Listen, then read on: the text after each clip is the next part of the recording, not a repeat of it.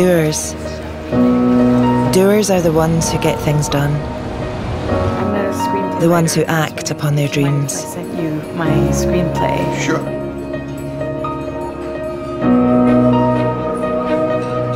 That's great.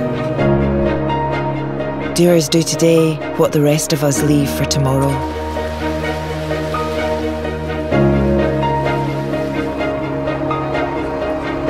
They don't wait to be asked, not when something needs to be done. You'll never hear a doer say it's too difficult. Doers can see past the stress and the all nighters to something inspiring. They'll willingly risk everything for a cause they believe in.